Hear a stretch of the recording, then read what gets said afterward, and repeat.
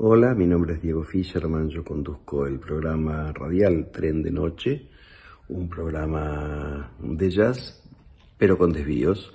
Eh, y en este espacio eh, nos ocupamos de eh, recomendar, decir, contar algunas cosas que tienen que ver con músicas que nos interesan, que nos parece que pueden ser interesantes para ustedes y hoy, en cierto desvío, y dentro de este espacio que, es de la Universidad de Buenos Aires y que forma parte del ciclo Noches Rojas del Centro Cultural Dr. Ricardo Rojas de la UBA, vamos a recomendarles un dúo, un dúo fantástico, un bandoneonista notable, Santiago Arias, junto con el guitarrista Seba Castro, haciendo un conjunto de bailecitos de autor anónimo.